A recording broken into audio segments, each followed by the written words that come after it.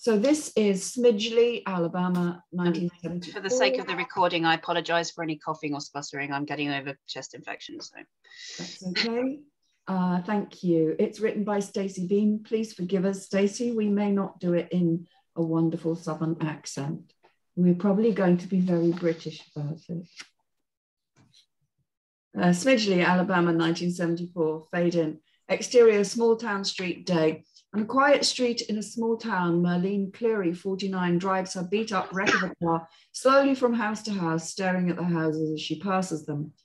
Superimposed, Smidgely, Alabama, 1974. Merlene wears old jeans and a worn tank top with a black bra strap hanging down on her arm. She's angry, determined, deep in thought, and smoking furiously.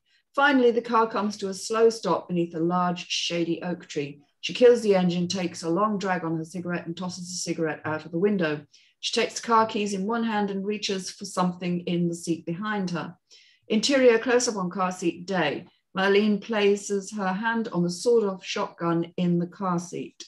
Exterior street day. Marlene climbs out of the car carrying the shotgun, slips her keys into her pants pocket, and slams the car door shut. She slowly makes her way up the street.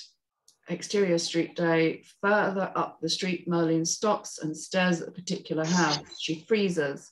Exterior close up on house day. The house of Merlin's obsession is a very nice two story house with white wooden siding and pretty blue shutters on the windows. It's not the home of a wealthy person, but definitely one of the nicer and more tasteful homes in this town. It's the home of a striver. Exterior street day, Merlin quick, Merlene quickly scampers across the nicely manicured lawn of the house and stops just before the front stoop to notice a bush that's blooming with pink and white azalea flowers. Merlene stares at the beautiful flowers. Shit. Merlene slaps at the flowers until they explode into the air in a cloud of pink and white petals. She scampers up the front steps and across a big front porch and knocks loudly on the front door. She waits for a second, then bangs on the door. Slowly, the front door opens. Interior point of view, person inside the door, day. From the point of view of the person inside the door, the door slowly opens to reveal an angry Merlene who quickly raises her shotgun in the air and points it at the person. The person's hand is seen quickly trying to slam the door shut, but Merlene kicks it open. I told you. I told you what would happen if you messed with me. You just had to do it, didn't you? God damn you. I warned you. I warned you. Merlene fires the shotgun. Exterior front porch day. Merlene stares down the person she has just shot, angry and snarling. I told you you weren't better than me, but you thought you were. You thought you were better than everybody in this town. Well, I showed you. I showed you. Merlin backs up a couple of steps, proud of her accomplishment. Now we'll see who runs this goddamn town. Exterior street day, Merlin turns and runs quickly across the yard and back towards her car. Exterior victim's house day, just a few seconds after Merlin disappears, a neighbor to the victim, Lucy Nell, 46, silly and dumpy, crosses the yard carrying a jello salad inside a Tupperware container. She sprints in the distance, seeing an unidentified woman trotting down the street. She shrugs it off and keeps walking towards the victim's house. She crosses the porch, stops at the front door, looks down at the victim's body, screams and drops the jello salad on the porch. The green jello splatters all over Lucy Nell. Lucy Nell screams loudly in horror. Interior Pack-and-Sack store day. Marlene sits on a stool behind the checkout stand in the Pack-and-Sack store. She's smoking a cigarette and wearing the store uniform of polyester plants, a white polyester blouse and red apron. Unlike all the other women in town who wear various versions of modified beehive hairdos, Merlene wears her hair down in no specific shape or style except for the fact that it always looks slightly askew, superimposed six months earlier. Interior checkout stands Pack-and-Sack store day. In a wider shot, Merlene's friend Delphine Moore, 48, is also smoking on a stool behind her checkout counter. Delphine wears the same polyester outfit as Merlene, but her hair is slicked back and held in place with a wide white hairband. What time is it, Merlene? Got a watch, don't you? I forgot to wind it. How much longer till we get off? Not soon enough. Kitty Hargrove, 48, pulls up to Merlene's counter pushing a shopping cart. Kitty wears a cat-sized glasses and stylish baby blue polyester pantsuit with white lapels and white shoes. Her hair is puffed up in the shape of a large football helmet. Merlene, which aisle is the ladies' products? The Tampax? Don't say it like so loud. Oh, hell, Kitty, there ain't no man within a 100 miles of here that, besides me and Delp, know your business. We're women too, you know. Ain't that right, Delp? Whatever you say. Well, I'm not looking for the T A M P A X anyway. I'm looking for the Lady Eve. Oh, douche. Why didn't you just say so? Dad, what hours do, Sean? Oh, Kitty, embarrassed, quickly pushes her cart away as she calls behind her. I'll find it myself. You know, I heard that Lady Eve Company was going to start making a strawberry douche. Can you imagine your lady parts smelling like fresh fruit? Good. Kitty needs it. Why do you say that? Have you ever sat real close to her? No. Well, here's some advice. Don't. Delphine giggles, looks up past Merlene, then jumps to her feet and tosses a cigarette aside. Merlene watches Delphine's sudden panic and looks up. Doris K. Doris, 51, the manager of the pack and sack store, standing at Merlene's checkout counter, hands on hips, staring at Merlene and Delphine. Doris would have been football linebacker had she been a boy. She's built tall, wide, and very sturdy, with prominent breasts, thick arms, and solid pot belly. She's a tad built mannish, which she accentuates by wearing a man's tie with a polyester shirt and black army boots with a polyester pants. What do you th- two think you're doing? Nothing, Nothing. Doris? Oh, that's Nothing, not me. Doris. I was just about to check Kitty Hargrove out. She's back there getting her some feminine hygiene. What about you? Molly stands slowly and lazily. Just taking a break, Doris. I think I'm entitled. You're entitled to two five minute shifts per an eight hour shift. And so far today, you've had five or six. I've been counting. Okay, okay. It's not like anybody's in here. Fine. And get some Windex and hit those front windows. What? You heard me, Marlene. You got time to lean. You got time to clean. Doris strides away. Jesus, she's scary. Mm, don't pay her no mind. She's just mad because her women's softball team starts practice next week and she's hadn't to get her jock strap yet. Delphine bursts out laughing and Merlin joins in. They look at each other, thinking about what Merlin said, and laughs even harder. Edith Atwell, 50, and Lucinelle Hendricks suddenly appear at Merlin's checkout counter. Edith, the most stylish woman in town, is wearing a peach colored polyester pantsuit with matching scarf and sports a very high combo beehive bouffant meant to impress. Lucy Lucinelle looks like a slightly pudgier version of Edith with a yellow pantsuit and puffed up hairdo similar to Edith's, only smaller. Well, well, well, ladies, what's so amusing? Marlene and Delphine turn to see Edith and Lucy Lucinelle and immediately stop laughing. Marlene's mood sours. Hello, Edith. Hey, Lucinelle. Delphine. Yes, well, we're just doing a little shopping. Not that I normally frequent the, uh, what is this place? The Pack and Sack. That's such a cute name. A little crude for my tastes, but cute. I normally purchase my dry goods at the new Walmart outside of town. But they were out of lemon pledge today, and I've just got to get my house dusted. Ladies are coming over this afternoon, you know.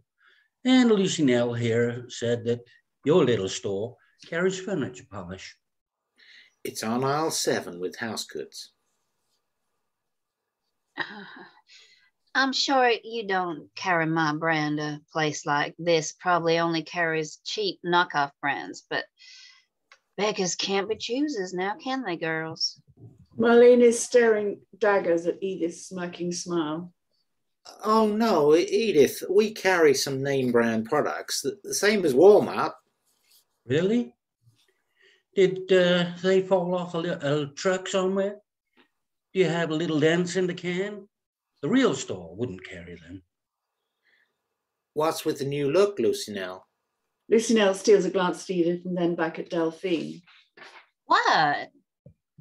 I don't think I've ever seen you wear anything but blue jeans. What's with uh, Edith took me shopping and uh, Doesn't she look nice? I helped her pick out this outfit, and we got her hair done. She looks so sweet. What the shit is going on? Oh my. Lucinelle, why don't you run on and get me a can of lemon polish? You probably know where everything is in here. Lucinelle trots away and almost turns her ankle trying to walk in her new platform pumps. Yes, well, Marlene and Delphine, some people are interested in bettering themselves. Lucinelle would like to improve her station in life, and I offered to help. I think everybody Lu- uh, Edith studies Merlin up and down. should think about bettering themselves. Lucinelle trots back with a can of furniture polish. Here it is. Edith inspects the polish. Oh my, this looks like something you'd clean a pigsty with. Lucinelle, are you sure we didn't accidentally stumble into the farmer's feed and grain store? Edith giggles loudly and Lucinelle tries to join in, but Lucinelle's laugh is awkward and forced. Well, I guess it'll have to do.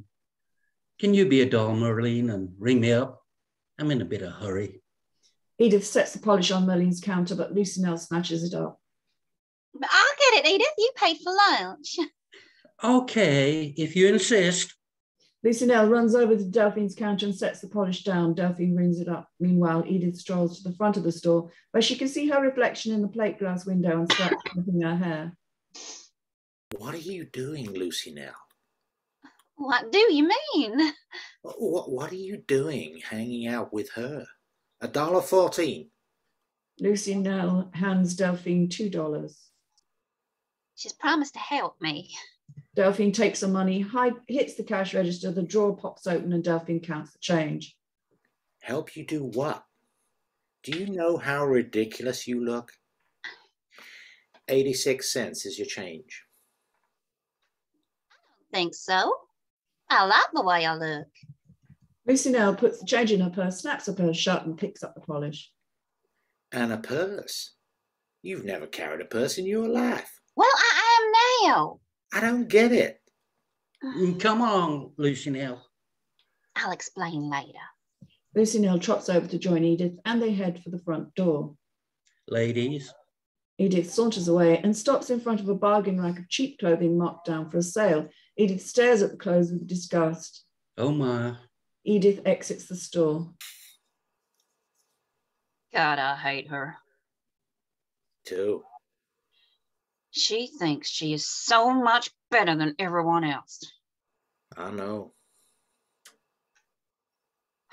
Oh my, does your furniture polish have little dents in the cans? I'd like to dent her in her cans. Guys, that's the 10 page. Ah, that was ten. Um, Hmm. who would like to start? I mean, I can start with my notes that I made pre, pre, and then, we're, okay. Um, I get the idea that these women are kind of vying, that they're, they're in competition for, with one another for some bizarre reason. I mean, as a study in the in the life of of um, of of uh, a bunch of women whose interests seem to be weird clothing and strange hairstyles. It's quite good, and I quite like the descriptions of their clothes and their hairstyles. I think it's probably overdone, but I quite like them all the same. Um, I will say that the writer of this has got their scene headings mixed up with their shots. Um, and and it's it I've written big notes on this. On the first one, interior close up on car seat day. That is not a scene heading. That is a shot. You need interior car day. Then you can put after the day close on car seat and carry on with a description. So you can include the, the shot in the scene heading, but it's in the wrong place. Um, and then and then on the same page in exterior street, exterior street two in close succession. I get that you're further down the street, but you don't need another scene heading. You're it's the same scene. It's just further down the street. Um, so it's things like it's little things like that that I mostly picked up on for that. The um, on page two, interior point of view, person inside the door. Again, not a scene heading. Again, that is a shot. It's not a scene heading. So you really need interior um, house or interior hall or something like that. Um, and also then you don't need then to duplicate the from the point of view of the person inside the door, you know, so duplicating it. Also, that person, we've said this before in other on previous occasions, you need to identify every single person. You're not writing this like a novel where you can leave that to later and we'll find out who it is later. That person has got to be played by somebody. It can't just be some random person. So we have to identify who that person is so that the actors and the director know who it is that's just got a shot. Um, if you don't want them to be seen, then you have to give, then you have to, you have to clearly say it's whoever it is, you know. But we only see the hand. But we only yeah. see the hand, exactly. So, you know, um, um, um, and then again on page three, that person becomes the victim suddenly. As we get exterior victim's house, well, it's kind of like make your mind up. Please give this person a name.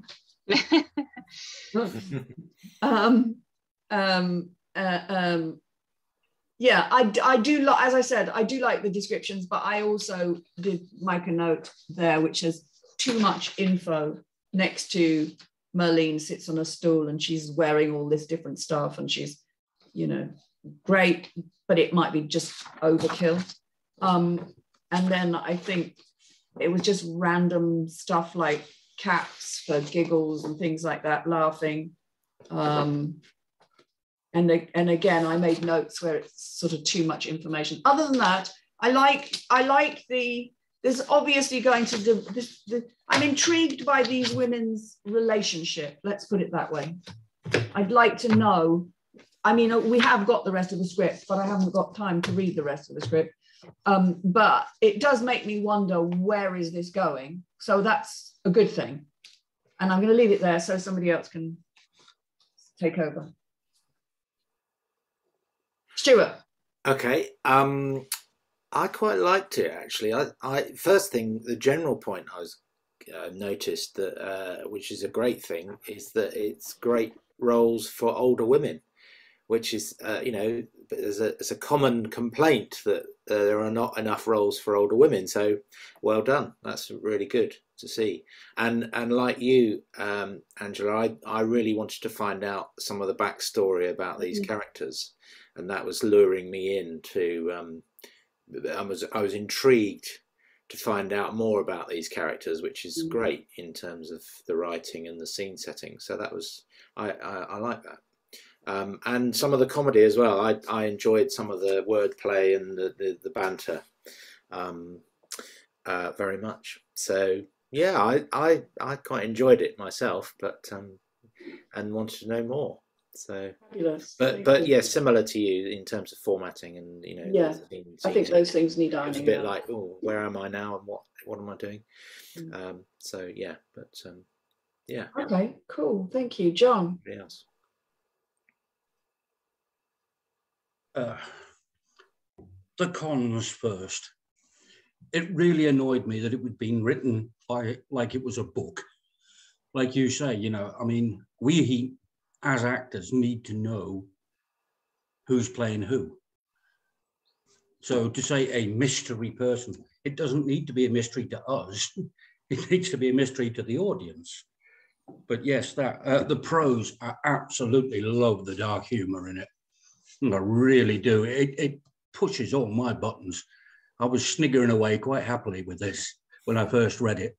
Uh, but yeah, I mean, pretty much as you and Stewart said, you know, but uh, I just absolutely love the comedy in it. Fabulous. Catherine. Um, yeah. Again, apologies for the coughing. Um, I I agree with everybody else. Um, in fact, that POV thing really bugs me. That I had that as my note, and I was like, "You've just told us this. Why are you telling us again?" Um, so I think um, maybe a proofread just for clean up the, the format before you um, submit it anywhere. Um, but um, you know that's that's technicality stuff.